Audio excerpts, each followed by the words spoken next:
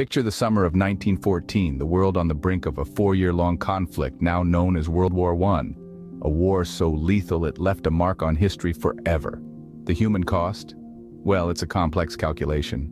Michael Green, an associate professor of history, suggests that estimates vary due to factors like the 1918 flu pandemic and the Armenian genocide. A report by the Robert Schuman European Center, however, puts the number at around 16.5 million lives lost, including military personnel and civilians. Surprisingly, the victors suffered more military deaths than the losers. The Allied forces lost roughly 5.4 million military personnel compared to the Central Powers' 4 million.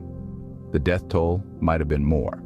French anthropologist François Héran suggests France's official death toll might have been closer to 1.5 million. The reason for such a massive loss? Warfare had become technologically advanced. World War I was the first to see trench warfare, submarines, airplanes, poison gas, flamethrowers, and machine guns. As French historian Antoine Prost notes, obsolete tactics against new technology resulted in massacres. The French army lost 310,000 soldiers in just the first four months.